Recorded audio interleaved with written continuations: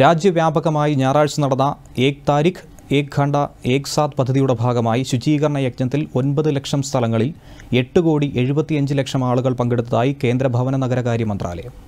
ആളുകളുടെ കൂട്ടായ പ്രവർത്തനമാണ് എല്ലാ സ്ഥലങ്ങളിലും ദൃശ്യമായതെന്നും മന്ത്രാലയം വ്യക്തമാക്കി.